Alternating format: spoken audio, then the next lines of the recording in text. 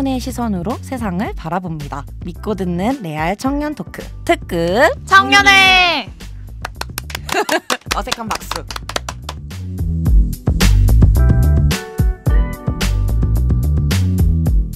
안녕하세요. 뭐예요? 왜, 왜 갑자기 쑥스러운 척해? 나 컨셉이니까 빨리 아, 뭐 인사해요. 미치겠- 안녕하세요. 특급 청년회 다미입니다. 네, 논란의 여지가 많이 된 미미입니다. 무슨 논란의 여지가 많이? 사람들이 설마 네가 미미냐고. 아 이유 어떠- 때문에? 어, 어디 그런 이름을 쓰냐고. 아, 아 요새 그게 문제야. 미미하면 다 공주 같은 사람들만 해야 되는 줄 알아. 어, 네. 네, 그래서 뭐 잘 지내셨어요? 네, 저 제주도 갔다 왔어요. 어, 제 고향 아, 네. 다현 씨 집에 가진 않았고요. 다미 저, 다미. 나 다미. 저 제주도에 갔었는데 그 제주도 세와리라는 동네에 있었거든요. 알죠, 알죠. 네, 거기서 일주일 동안 멍멍이 데리고 멍멍이 이 잡고 그랬습니다. 아 제주도 가서 하신 게 바다를 본다 이런 게 아니라 멍멍이 이를 잡는다. 네, 아주 좋았어요. 어, 또 새로운 발상이네요. 저한테도 네, 물어봐 주세요. 다미 씨 어떻게 지냈어요?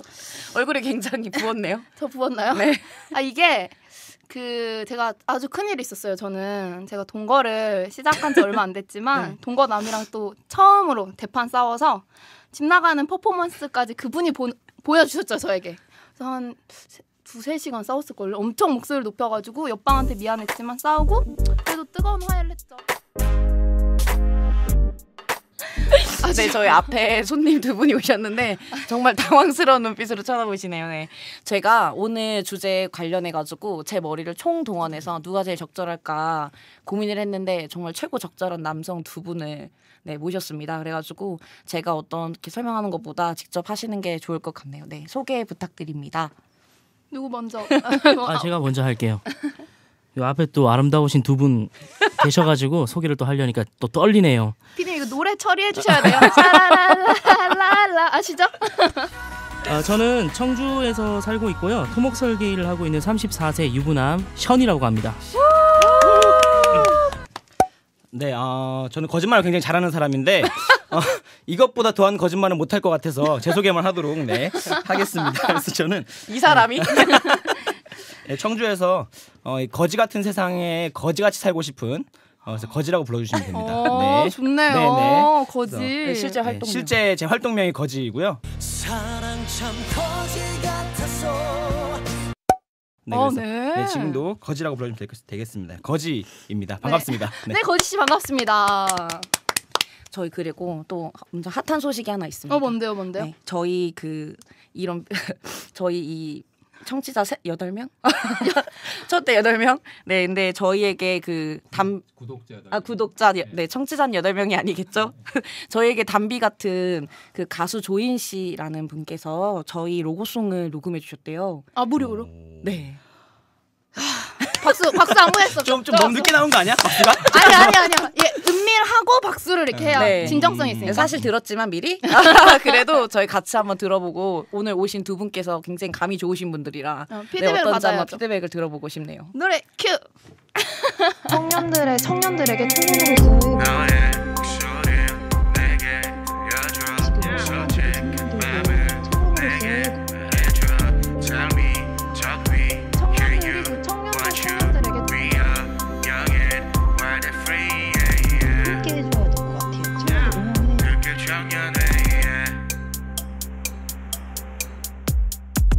자 박수. Wow.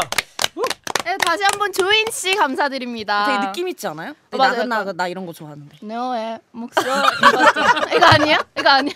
일단 굉장히 내 스타일이에요.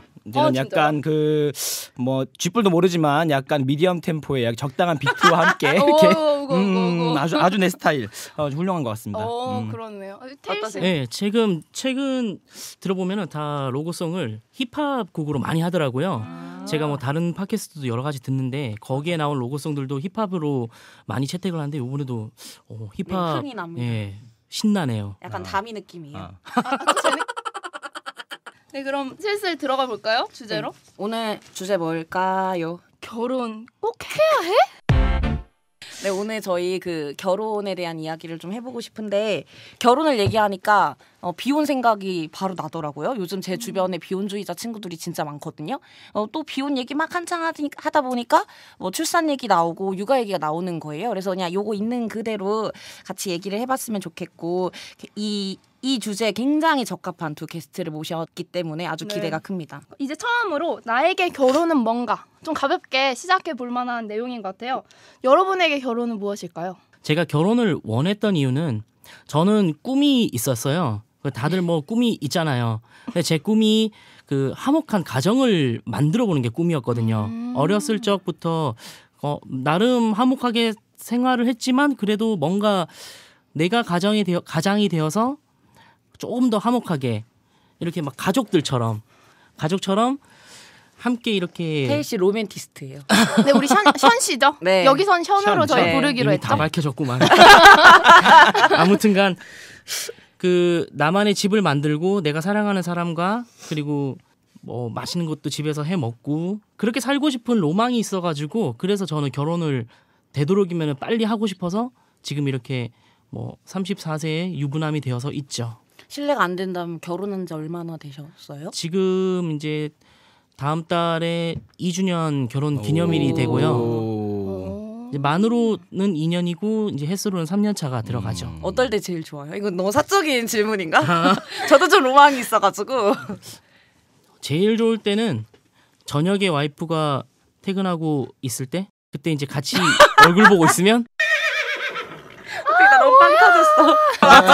이게 그냥 그대로 모든 그 로맨스로만 느껴지지 않는 그쵸, 왜 그런지 잘 모르겠는데 아니요, 아니요, 아니요. 이제 제 음.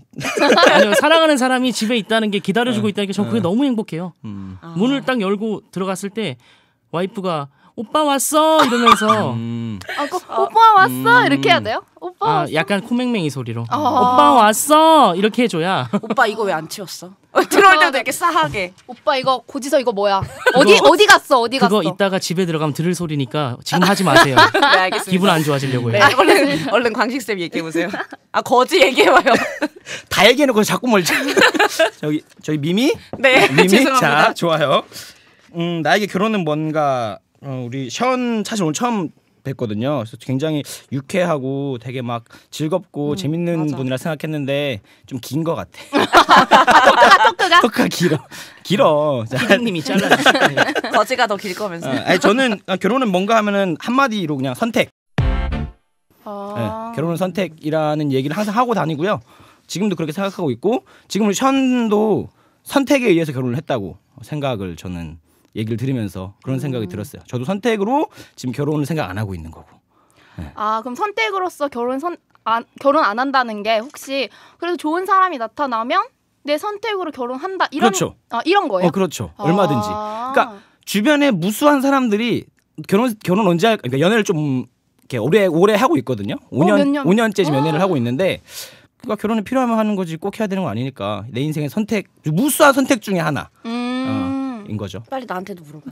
어. 우리- 어, 그 태, 어, 아, 어, 어. 거지 씨가 물어봐 어. 주시면 좋겠네요. 나한테 물어봐. 그래서 우리 다미는 결혼이 뭐라고 안돼 안돼. 우리 미미 씨 상처받아. 알았어, 알았어. 미미, 미미는 네. 결혼이 뭐라고 생각하세요? 근데 저는 요즘 되게 놀라는 게 이런 멘트 날리면 제가 한 3, 40대 돼 보일 수도 있는데 저는 결혼은 너무 당연한 거라고 생각을 했고 음. 어, 오히려 아, 26, 7살쯤이면 당연히 하겠구나. 음. 그래가지고 엄청 조바심이 나서 이런 말 죄송하지만은 그 연애를 할 때마다 결혼을 염두에 두고 상대방 혼자 김치국을 드링킹하는 그래서 연애를 오래 못했는데 아, 안 돼. 어, 사생활 금지. 알았어요. 자, 네, 그래서 저는 오히려 그랬거든요.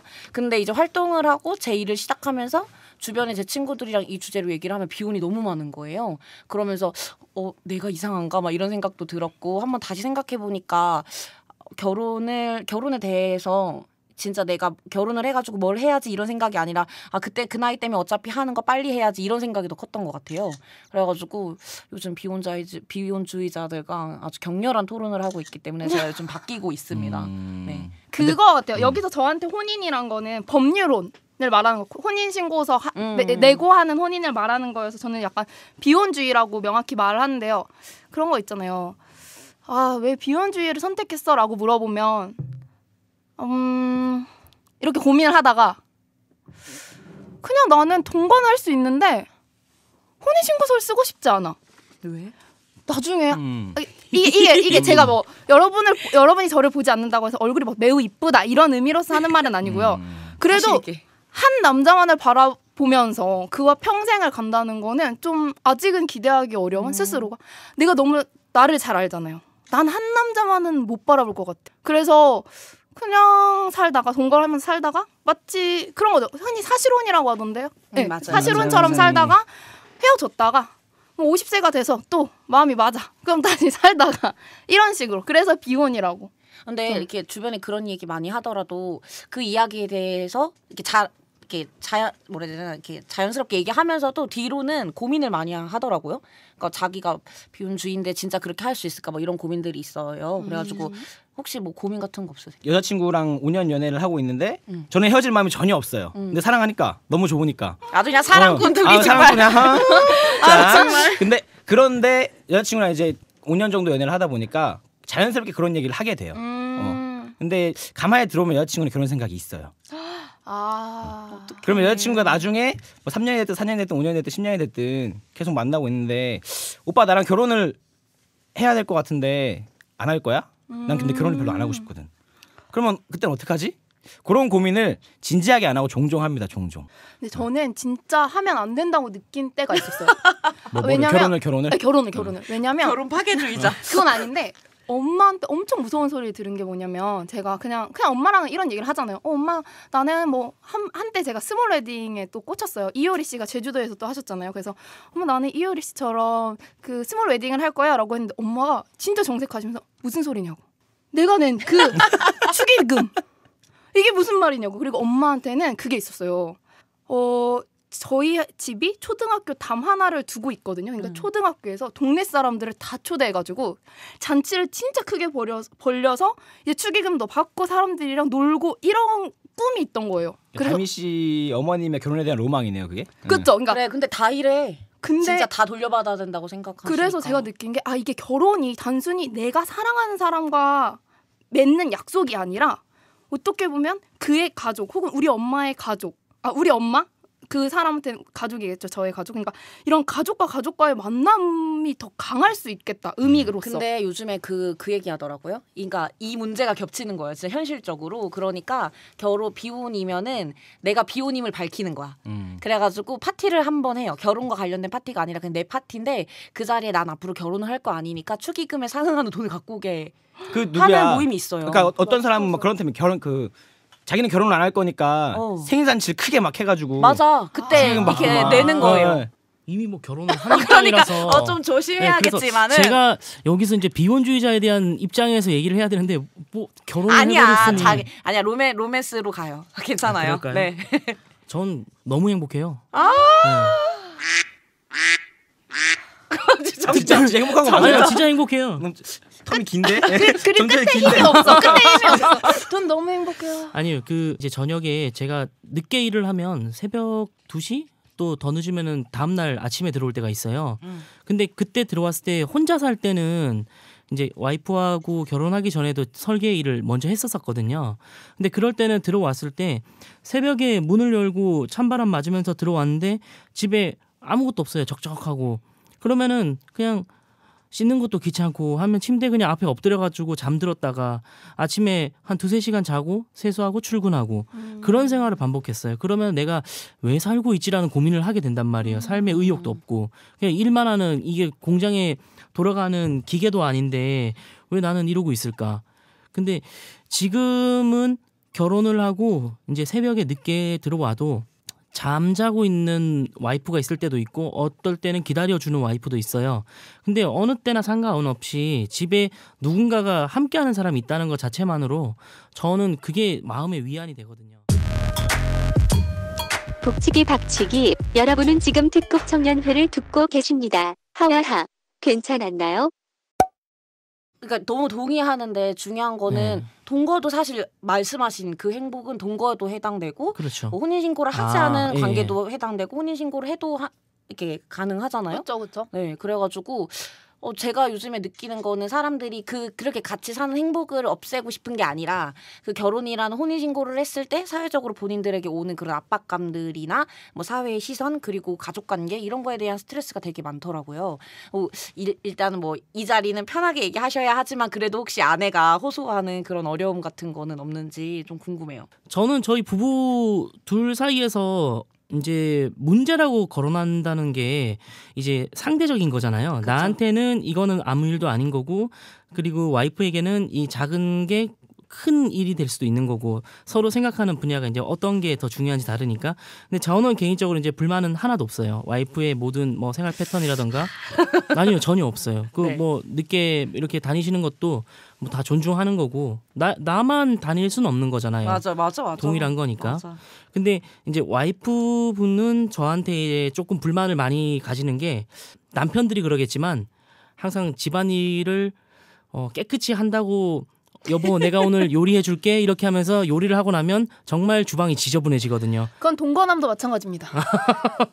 저는 제가 결혼을 생각 안 하는 이유 무수히 많은 이유가 있지만 그 중에 하나도 그럼 물론 이제 같이 함께 사는 삶이 사람이 있다는 거에 대한 행복감 행복함을 무시할 수는 없겠지만 이러한 행복 절대 무시하거나 뭐 반대하거나 그러는 건 아니에요. 이게 혹시라도 초면인데 막 저 미워하실까봐 아, 잘생긴 사람 안 미워요.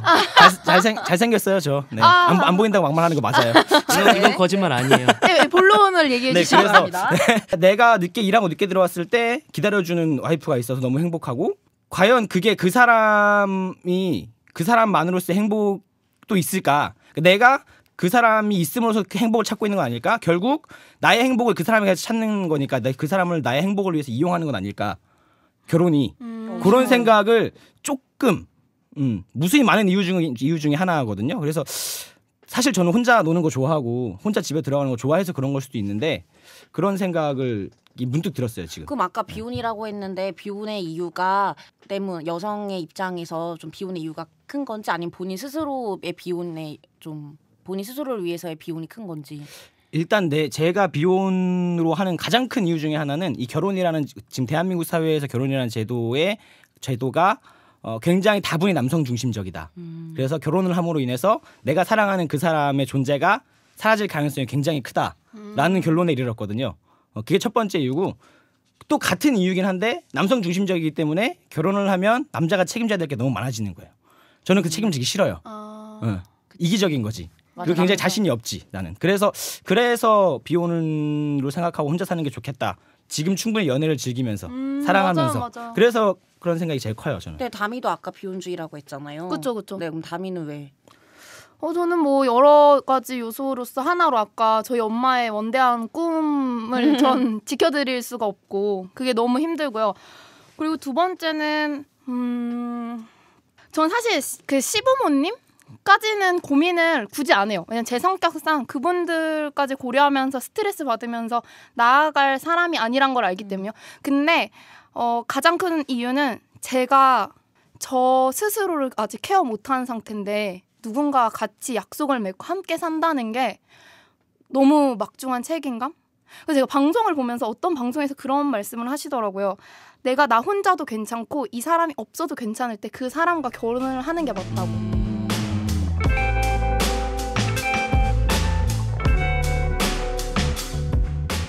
얼마나 제가 어리냐면 아기를 결혼하면 우리 나라에서는 결혼은 음. 육아 이거잖아요. 그쵸, 출산. 그쵸. 저는 남편이 아기를 더 좋아하면 너무 질투심이 생길 것 같은 거예요.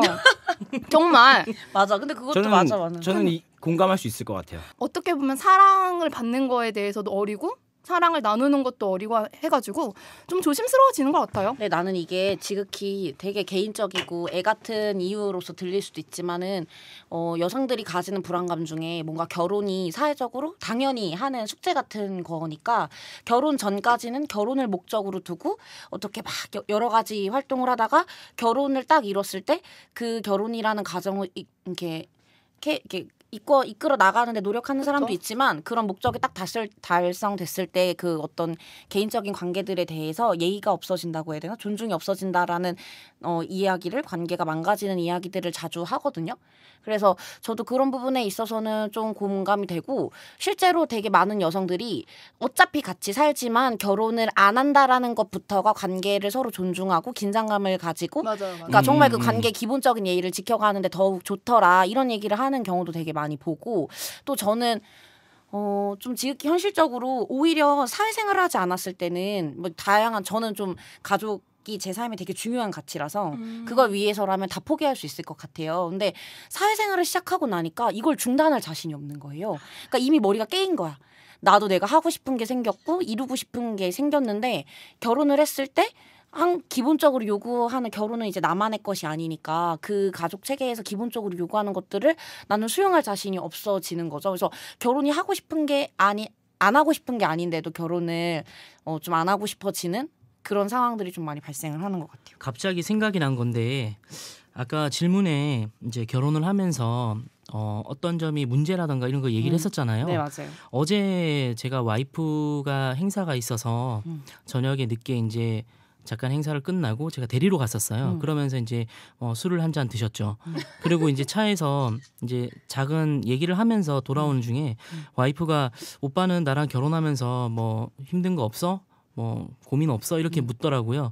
그래서 저는 아까처럼 그냥 나는 다 행복하고 좋아 이렇게 했는데 와이프는 저한테 저런 얘기를 하더라고요. 결혼을 하고 나서 어, 혼자 있었을 때는 만약에 내가 지금 다니고 있는 이 직장을 그만두고 유학을 가고 싶고 뭐 공부를 좀 더 하고 싶고 이랬을 때 결단을 내리는데 그런 어려움이 특별히 없었대요. 음. 그래서 하고 싶으면 내가 1년 동안 뭐 돈을 좀 모아놨다가 과감하게 딱 음, 이 일을 음, 중단하고 나 그렇죠. 공부하러 1년 동안 갔다 온다 이러고 갔을 텐데 지금 결혼을 하고 난 이후에는 그런 결정을 함에 있어서 저는 와이프의 의견을 존중해 드리지만 그 외적인 뭐 다른 눈들이 있잖아요. 그쵸. 유부녀가 결혼을 음, 했는데 맞아. 왜뭐 가정의 책임을 안 지고 어. 이렇게 가냐 그런 거에 대한 시선을 원래 우리 와이프는 그걸 잘 안 느낀다라고 생각했지만 어제 술을 한잔 하고 와서 저 제 차에서 그런 얘기를 하는 걸 보고 아 이 친구도 그런 거에 대한 고민이 있었구나 음. 그래서 내색을 하지 않았지만 했다는 것 자체가 저는 굉장히 놀랐고 그러면 더욱이 그런 거를 평소에 표현하는 친구들은 더 심각한 고민이 될 거라고 생각하거든요. 미진 씨 음, 아니지 미미 씨처럼 아무튼 그런 생각이 문득 들었어요 방금 어, 이야기 근데 들으면서. 그게 별거 아니라고 생각하지만 저도 이렇게 일상 속에서 저한테 하는 말이 아니라 제 주변에 결혼을 한 여성들에게 제가 관계 맺는 사람들이 그런 포, 그 소- 소소한 폭력들을 해요. 바, 말로써 음. 뭐 유부녀가 어, 저렇게 하면 안 싫어해? 저럴 거면 왜 결혼했어? 이- 이런 것들을 자연스럽게 얘기하고 그 자리에서 저도 그냥 웃으면서 넘기거든요. 왜냐면 제가 유부녀가 아니니까. 근데 제가 언젠가부터 이렇게 좀 결혼을 왜 이렇게 무겁게 생각할까? 그리고 무겁게 생각하는 것을 나의 뭐 부모님과 논의하면 왜 해보지도 않고 겁부터 먹냐? 그렇게 다, 다 괜찮은 결혼을 남들이 어떻게 하겠냐? 이런 얘기를 하지만 그럼 진짜 내가 너무 겁을 먹는 건가? 이런 생각을 하다 보면 그 평상시에 누적돼 왔던 그러니까 여성들을 볼 때 쉽게 말 쉽게 말 그 결혼이라는 제도나 그런 억압을 쉽게 말하는 게 저한테 이미 누적이 된 음. 거예요. 그러니까 제가 스스로 혼자 있는 공간에서 생각을 할 때 그 억압들이 막 나도 모르게 이미 다 세뇌가 되어 있는 거지. 그러니까 나한테 그 결혼이라는 문화나 제도가 오는 좀 폭력성이 있는 것 같다 이런 생각들을 했고. 특급 청년회 잘 듣고 계신가요? 청주 KYC 정미정 활동가와 청주 노동인권센터 이다현 활동가가 진행하는 MBC 충북 라뷰 청년 콘텐츠 특급 청년회 청년이 바로서야 이게 나라죠. 또 되게 인상 깊은 게 왜 기사 기사 같은 거 보고 정책 같은 거 보면 돈 대주는 거 얘기 많이 하잖아. 음, 결혼 그쵸. 요즘 결혼 자금 음, 대주는 것도 음. 되게 많고 이러면서 되게 마치 결혼이 돈이 없어서 못 하는 것처럼 얘기를 하고 실제로 뭐 경제적인 게 중요한 이유가 될 수도 있지만 근데 우리가 지금 이렇게 많이 얘기를 했는데도 경제적인 거에 대한 얘기는 크게 나오지 않았잖아요. 예, 그래가지고 진짜로 전좀 궁금해. 난 아직 결혼을 안 했으니까 결혼을 하면 돈이 필요한가? 진짜 겨- 돈이 없으면 결혼을 못 하나 이런 거 궁금증도 요즘 많이 생기는 것 같아요. 일단 결혼을 하셨잖아요. 저는 얼마 들었어요? 결혼하는데? 갑자기 궁금해지네. 네, 좀 저- 특이한 케이스로 하고 들었는데. 저는 결혼을 할 때 부모님이 돈을 대주신 게 아니라 제가 직장 생활을 대학교 4학년 때부터 시작을 했거든요. 학교를 다니면서 직장을 같이 다녔어요. 그래서 그때부터 돈을 모으고 그리고 제가 꿈이 있다고 했잖아요. 가정을 꾸리는 게 꿈이라고. 그래서 우선적으로 돈을 안 썼어요. 음. 이거 다 내 결혼 자금으로 쓰겠다라는 마음으로 그리고 연애를 할 때도 우리 와이프가 저는 참 깨어 있고 고마운 친구라고 생각하는 분 중에 하나가 어 함께 돈을 모아서 저축을 해서 결혼 자금을 썼으면 좋겠다. 우리 양가 부모님한테 손 벌리지 말고 우리가 좀 독립적으로 해보면 어떨까. 결혼식 예식 비용도 우리가 다 마련하고 신혼여행 비용도 우리가 마련하고 집 사는 것도 우리가 돈을 마련해서 하면 어떨까. 그렇게 얘기를 했었을 때 와이프가 그거에 대해서 존중해주고 기꺼이 동참을 해줬거든요. 그래서 저희도 동거를 원래 먼저 했어요. 음. 동거를 한 3년 정도 하면서 그 3년 기간 동안 한 3천만 원 정도 돈을 모았어요. 음. 그래서 그 모은 돈으로 야 3천만 원? 와. 네 같이 직장 생활하면서 조금씩 조금씩 같이 적금을 들었죠. 3년 만기 적금을 딱 타는 순간 우리 이제 결혼할 수 있어라고 외치고 그리고 이제 그 전에 그 1년 그 만기 되기 1년 전에 양가 부모님께 이제 상견례를 드리고 그래서 그 돈으로 했을 때 저희는 한 천만 원 정도 신혼여행 비용이랑 그 다음에 예식 비용을 합쳐서 천만 원 정도 들었던 것 같아요. 굉장히 저렴하게 했어요. 그것도 저희 와이프 생각이었고 제 생각도 똑같았고 어 특별히 굳이 필요하지 않은 것들 그리고 남들한테 보이기 위해서 하는 것들 그런 거 있잖아요. 어, 예식 촬영도 참 우리의 추억이 되고 고맙지만 굳이 이걸 꼭 해야 되나 하고 고민이 됐을 때 그런 것도 촬영도 가감하게 빼버리고 그리고 예물 예단 이런 것도 다 빼버리고 혼수도 다 빼버리고 그리고 이제 뭐 서운해하는 거는 이제 양가 부모님들께서는 어, 그런 거 못 해줘서 친인 예, 친인척들한테 좀 서운한 소리 듣는다고 뭐라고 하시지만 우- 저는 그래 과감하게 말했어요 저희 부모님한테. 우리 둘이 행복하기 위해서 결혼을 하는 건데 그거를 왜 주변 사람들 시선을 신경 쓰면서 하려고 하냐. 우리 둘이 그렇게 하면 행복하지 않다고. 그랬을 때 저희 부모님은 저를 굉장히 존중해 주셔가지고 그러면 너희 둘 행복을 우선으로 생각하면 그걸 이해한다 그렇게 하도록 해라라고 같이 이제 함께 해주셨기 때문에 이렇게 된 것 같아요. 근데 완전 특이한 케이스죠. 오히려 약간 왜냐면 빠져들었어요. 들으면서. 아 이럴 수 뭐, 예, 있구나. 이럴 수 있다. 멋있다. 이러면서 근데 나는 되게 봐봐요. 결혼이 어떤 예를 들어 100명 중에 한두 명만 하는 게 아니잖아요. 100명이면 남 사람들이 나이가 들었을 때 그 100명 모두가 고민하는 거잖아요. 그러니까 너무 건강한 방법이라고 생각해요. 근데 제가 고민이 되는 지점은 저 정도가 돼야 결혼을 해서 행복할 것 같은 느낌? 근데 사실 저렇게 건강한 생각을 가정이 되게 중요하고 저렇게 건강한 생각을 하는 사람도 있지만 그러지 않은 사람도 요즘 너무 많- 많잖아요. 그쵸. 근데 약간 그런 것 같아요. 그, 그게 건강 음. 건강이라는 그, 그, 그 단어로 좀 표현하기 좀 그래. 애매하긴 좀 하지. 그래. 예, 음. 예. 그러니까, 어, 그러니까 그- 내 말이 예. 그건 거야. 건강 그러니까 이렇게 이렇게 이런 사람이 거지. 있는데. 결혼을 저런 생각을 해서 저렇게 어려움을 다 헤쳐나가는 사람들은 저, 저런 사람이니까 건강한 결혼 생각을 해. 이런 게 좀 사회적으로 이렇게 모양이 잡혀 있잖아요. 통념이죠 사회적 어. 통념. 근데 그 사회적 통념으로 건강하다고 사람들이 생각을 하는데 음. 그렇게 다들 안 하잖아. 못해요. 왜냐면 요새 커뮤니티가 되게 발달했잖아요. 이게 제가 딱 느낀 게 정보가 너무 공유가 잘 된 이 시대 속에서 화장품 하나만 해도 이 빨간색 립, 이 빨간색 립 다 달라 제품 브랜드가. 근데 똑같은 빨간색인데 뭐가 더 좋은지를 너무 쉽게 알 수 있잖아요. 근데 결혼은 안 그러겠냐고. 이 외식장이 얼마나 화려하고 예쁜지 알아. 음. 근데 여자들은 아, 꼭 여자만이 아니죠. 그 결혼을 꿈꾸고 한 사람들은 그 날은 내가 특별했으면 좋겠어. 맞아요. 그렇잖아요. 그러니까 이런 생각을 하는 여성들이 마치 그러니까 점점 결혼이라는 문화 자체에 대한 비판보다 야 그래도 다 생각 건강한 애들은 알아서 잘해 약간 이렇게 흘러가다 보니까 저는 이런 거 다미 씨 말에 공감이 많이 되거든요 이런 생각을 하는 여성은 저렇게 생각하니까 결혼 못하지 음. 이렇게 가는 거에 대해서 되게 음. 방향이 이상하다 음, 음, 음. 아니 왜 그게 이상하지? 누군가는 소박하게 할 수도 있지만 누군가는 되게 남들 갖출 거 다 갖추고 하고 싶을 수도 있잖아요. 어, 그래서 이게 도대체 문제 핵심이 어디에 있는 거지? 약간 이런 생각들을 많이 들게 하죠. small wedding을 진짜 small wedding처럼 하려면요. 진 뭐라고 해요? 쉽게 말하면 종이를 막 자, 잘라.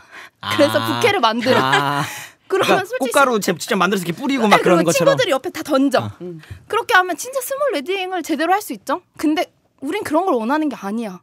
그치 대부분 보여지 말하는 small wedding 사실상 이효리 씨가 한 small wedding도 아니 그분은 지인이 뭐 그 김동률 씨 하니까 돈 한 푼도 안 들였지만 음, 축가를 축가 그분이 불러주고. 불러줬어. small wedding이 아닌 거죠. 그래서 small wedding을 어떻게 하면 저렴한 가격에 할 수 있냐를 봤더니 내가 모든 걸 다 할 줄 알아야 돼.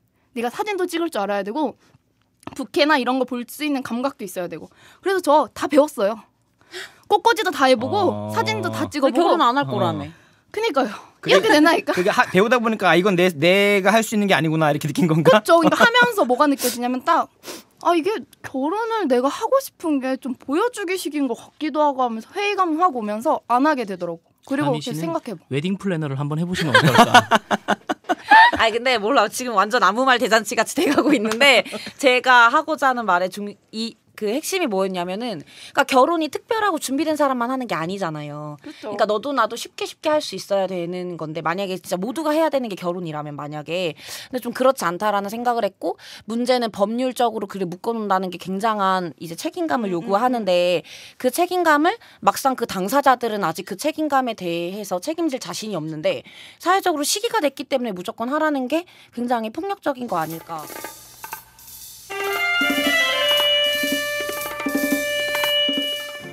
그러니까 그 결혼에 대한 부담감 중에 육아나 육아 문제도 굉장히 겹치는 것 같은데 아까 그 현 부부가 제 개인적으로 좀 친분이 있어요. 근데 언니한테 그러면 아기 낳고 싶은 생각 없냐 이런 질문을 하면은 언니가 저한테 이렇게 되게 똘망똘망한 눈, 눈빛으로 저한테 그러는 거예요. 봐봐 아이를 낳아. 근데 나도 애를 키우고 싶은 마음이 없어. 그래서 오빠한테 물어봤는데 오빠도 키우고 싶은 마음이 음, 없어. 음. 그럼 아기를 낳아야 될까? 안 낳아야 되지. 이렇게 얘기를 하는 거예요. 근데 그 말을 듣고 내가 너무 놀랬어. 그러니까 이게 생각하는 방, 방향이 되게 다르다 는 생각을 했고, 어, 결혼이나 육아, 출산 이 모든 것들이 사회적으로 여성이면 당연히 해야 되는 것들이라고 난 스스로 생각을 했는데, 결혼을 한 사람들이 뭐 그렇게 이야기를 하니까 그 부분에 대한 조금, 네, 아, 생각의 차이가 확실히 있구나, 이런 생각들이 좀 들었죠. 방금 거론하셨던 이제 션 션인데요. 네.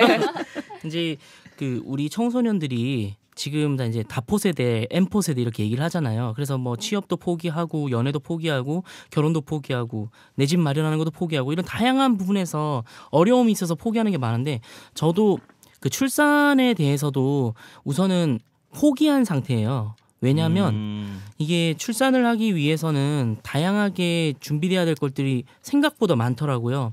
그래서 어, 먼저 말씀하셨던 것처럼 우리가 만약에 아기가 생기고 아기를 출산을 했을 때 이 육아에 대한 부분을 케어를 어느 누군가는 전적으로 맡아줬으면 하는데 그거를 사회적 통념에 따라서 와이프가 한다는 것 자체 그것도 저는 별로 마음에 안 들거든요. 그렇죠. 그래서 이거는 공동 육아인데 누구 하나 분담을 해야 되는 건 아닌 것 같고 그런다고 해서 우리 둘 다 그 육아를 분담하기에는 각자 처해 있는 현실이 부담스러운 거죠. 각자 치- 직장 생활도 해야 되고 어떻게도 해야 되니까 그래서 그 부분에 있어서 아직까지는 명확한 답을 못 내렸기 때문에 출산에 대해서는 저 또한 현재 포기된 상태라고 말씀드리고 싶네요. 근데 저도 약간 출산을 되게 두렵게 느꼈던 때가 있어요. 제가 주변에 사람들이 되게 많은데 친한 사람 친한 분 중에 한 분이 산후 우울증을 경험을 하셨는데 이때 진짜 저도 깜짝 놀랐어요. 아기가 너무 귀여운데 그분은 아기가 귀엽다고 진짜 인식을 못해요. 본인이 직접 낳으신 딸인데 어. 그리고 오히려 보면 화가 나는 거예요. 그냥 그냥 막 화가 난대요.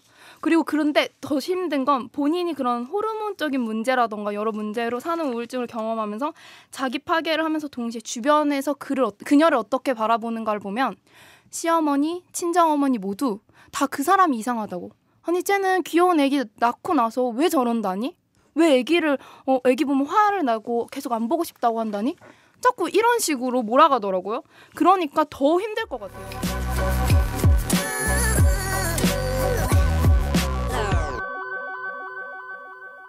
돈 문제가 진짜 직결되어 있잖아요. 제가 어떤 생각을 했었냐면 갑자기 모유와 분유에 네, 꽂힌 네, 거예요. 네, 그래서 네. 아니 분유가 돈이 그렇게 많이 든다는데 자기야 이걸 어떻게 집에서 간의 수공업을 만들 수 없을까? 이 생각이 들었죠. 그래서 처음 시작한 게 새로운 발상이다 진짜. 그렇죠. 그래서 근데 진짜 재밌어. 근데 그러면 우리가 제일 먼저 접근해야 될 게 왜 분유가 비쌀까를 찾아봤더니 모유 성분에 가장 가까울수록 그 성분이 많이 들어갈수록 비싼 거예요. 그러면 아예 모유 그 유축기인가요? 그걸로 짜서 미리 짜서 이거를 증발시켜서 건조 동결 건조 해가지고. 그쵸 그쵸.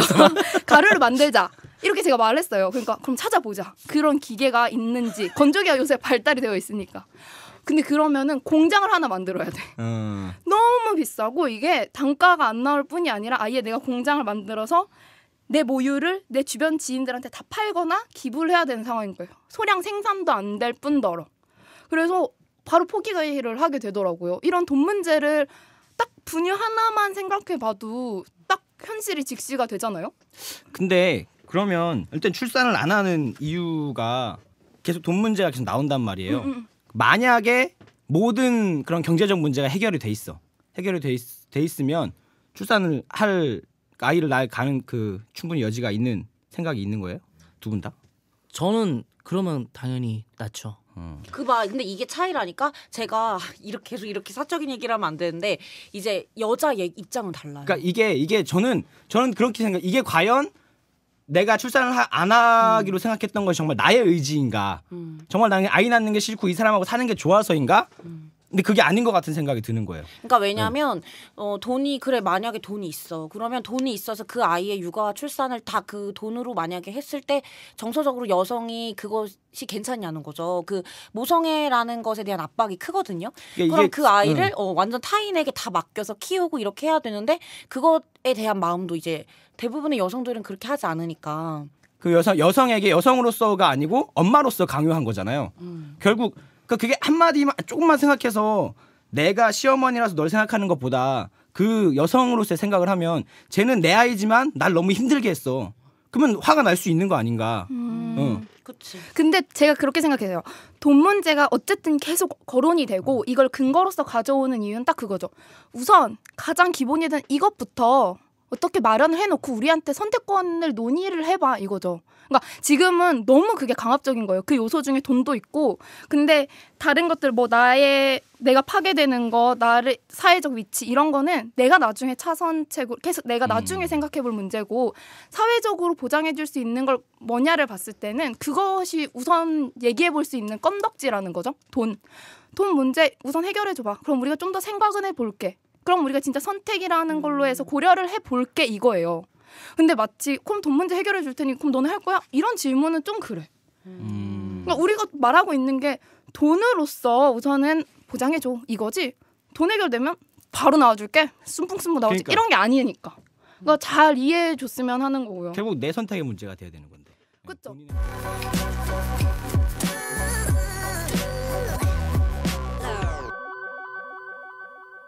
지금 계속 그 금전적인 걸 얘기하시는데 제가 거기 이제 조금 더 보태서 얘기 드리고 싶은 게 있어요. 혹시 그 주변에 출산을 하신 분들이 있으면 이제 아기를 가지신 분들이 있으면 그분들 육아할 때 비용이 얼마나 드는지 알고 계세요? 별로, 별로 안 들지 않을까? 어, 많이 드나? 그냥 어, 단순히 많이 많이, 든다고만 알고 맞아요. 있지. 오히려 나는 네, 나는 그러니까. 별로 안 들 것 같아. 나 어. 진짜 너무 책임감 없나? 안 책임감 아니, 문제. 책임의 몰라, 문제가. 아니지. 우리 모르니까 아직 그런 거지. 때. 맞아요. 케바케인데 케바케인데 저도 제 주변에 이제 직장 동료들하고 그다음에 제 또래 친구들이 음. 이제 출산을 해가지고 아기를 키우고 있어요. 갓. 그래서 그 친구들한테 물어봤어요. 예, 너- 너네는 저기 애 키울 때 만약 이제 분유값이 얼마나 들어? 한 달에 얼마 들어? 이기니까 대번에 하는 소리가 한 달 이러더라고요. 어, 한 달. 야, 일주일 단위야 이러더라고요. 그래서 여기서 직감한 게 아, 비싸구나. 그래서 어, 애기가 먹으면 얼마나 먹는다고 이렇게 물어봤는데 그러니까 조그만한 게. 분유 두 개는 먹는데요.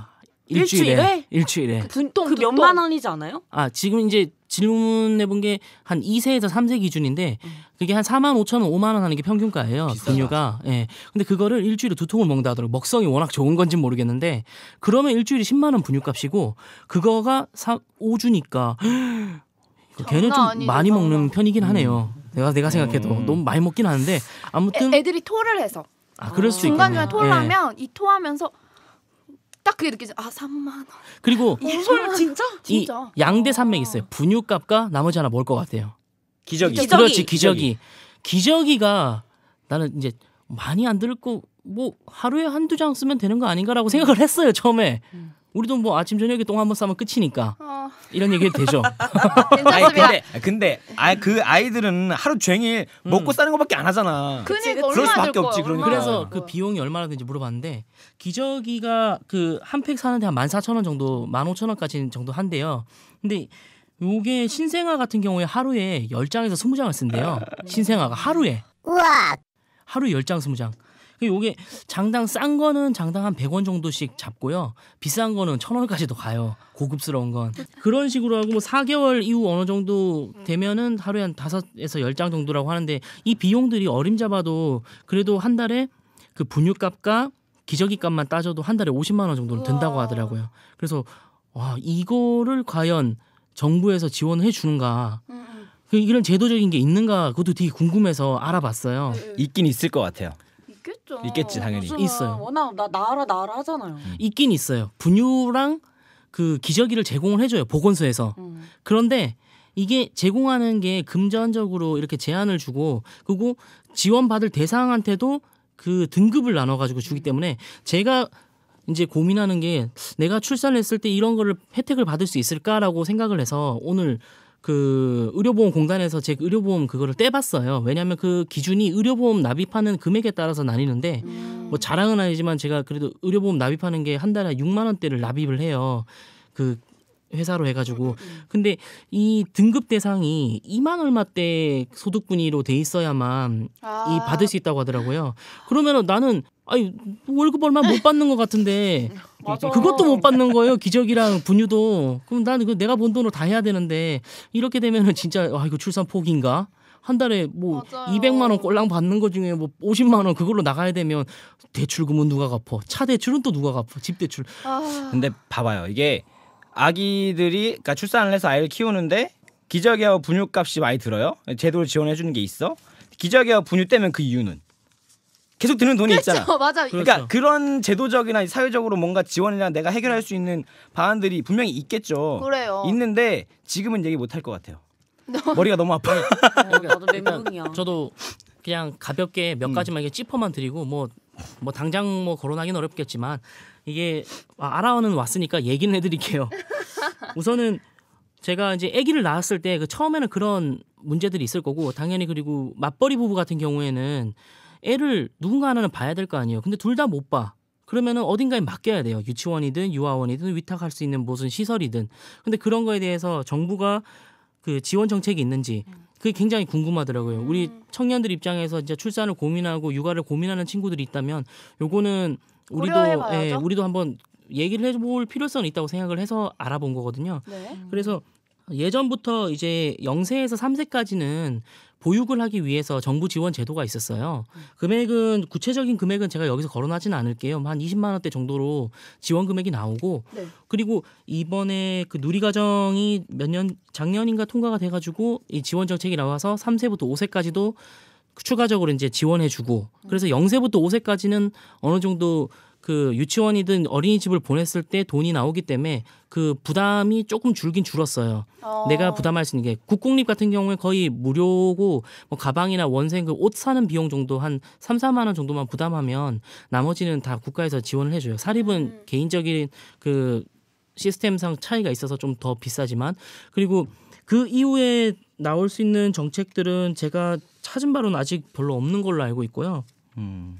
그리고 이번에 그 아동수당이라고 음, 그 추가로 이제 올 9월부터 정책이 들어가요. 맞아요. 그 신청은 올 6월부터 신청이 가능하고 근데 요것도 소득 분위에 따라서 그 신청할 수 있는데 아마 부부 합산으로 해가지고 월 소득 1,170만 원에 뭐 이 정도면은 누- 부부 합산에 우리 청년층 같은 경우에는 음, 합쳐서 그렇게 많이 버는 사람 없을 거 아니에요. 그 제가 봤을 때 이거는 만약에 정책이 시행되면 출산을 하고 아기를 기르는 기르는 입장에서는 어 다들 혜택을 볼 수 있는 거가 아닐까 싶어요. 근데 뭐 자세한 이야기는 기회가 되면 다음번에 다뤘으면 좋겠어요. 너무 뭔 말인지 모르겠다. 그죠? 그죠. 그러니까 이게 이게 직접적으로 뭐 탁 와닿지도 않, 않을 뿐더러 우린 몰라. 결혼도 안 했으니까 우린 몰라.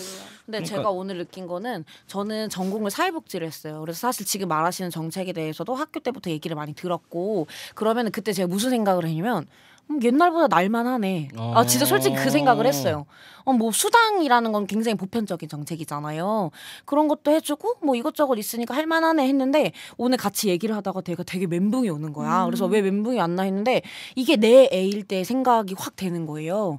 근데 과연 내 아이일 때 조금 주니까 괜찮아가 아니라 상대적으로 좋은 거 해주고 싶고 충분하게 키우고 싶고 그리고 아이는 물건이 아니라 사람이잖아요.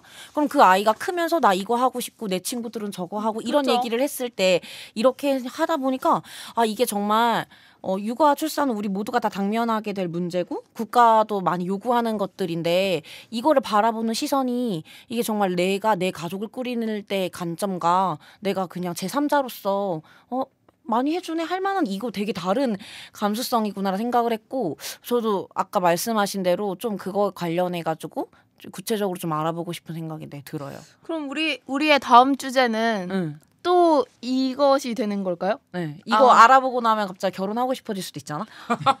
자 아니야? 아 이거 좀 다른 이 목적 그러면 있는 어, 그러면 나는 안 나올래. 아니야. 안돼 안돼 안돼 그래도 한번 파 파헤쳐 볼만한 것 같아요. 우리가 막연하게 싫다, 뭐 막연하게 좋다 이런 걸 떠나서 어 그럼 현실은 어떤가를 좀 오늘 개론처럼 얘기를 했으면 음. 이제 다음 회에서는 좀 더 구체적으로 이런 이러한 정책이 있는데 이게 과연 괜찮은 걸까 그리고 내 나였으면 이거에 대해서 어떻게 생각할까 하면서 다시 얘기해보는 시간을 갖죠. 맞아요, 맞아요. 현현씨 얘기를 듣다가 방금 제도적인 문제 이런 것들 듣- 뒷받침 듣다 보니까 내가 너무 그냥 감정적으로만 생각을 했을 수도 있겠구나는 생각이 그렇죠. 예, 들었어요. 맞아요. 근데 그 감정의 문제를 우리가 오늘 이번 회에서 털어놨으니까 이젠 좀 더 약간 이성적으로 한번 한번 해보는 거예요. 저는 이성- 저는 이성적으로? 굉장히 기대돼요. 만약에 우리가 다음에 그 어떤 제도적인 것들을 다 찾아내고 저는 구체적으로 그럼 내가 뭘 얼마나 받을 수 있는지 그 마인드로 음. 한번 봤을 때, 음, 좋죠. 어, 네, 저 만약에 되면 결혼합니다. 더 좌절하면 어떡해? 나 받을 수 있는 게 없겠구나 막 이러고 막. 근데 문제는 결혼이 이게 도움이 되는 게 아니라 준비물 가장 큰 준비물이 있어야 아, 되는 아, 거예요. 아. 상대방. 그게 가장 어려워 아니, 왜, 사실상. 왜 미미가 없을 거라 생각해요? 없어요. 어, 없을 왜? 것 같아요. 그냥 아, 내 느낌이 그래. 여러분 결혼은 행복입니다. 아 이러지 마. 여보. 사랑해. 성공했다 오늘 현씨 성공했다. 아니 우리 우리 거짓 쌤도 한마디 하셔야죠. 여자친구분도 있으신데 아무거나 또첫회뭐 이미 출연하신 이미 거니까. 사랑한다고 충분히 아까 얘기했지만 더 사랑한다고 얘기를 할게요. 사랑해 자기야. 저도 질 수 없죠. 잘 있지? 내 집에서 잘 있지? 우리 또좀 있으면 보겠네. 또이 뭐야 또이.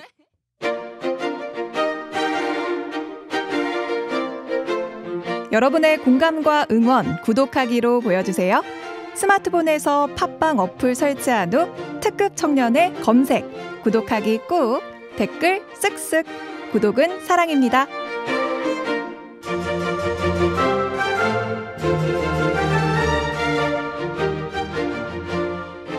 다음에 굉장히 기대됩니다. 아, 저 결혼할 수 있을까?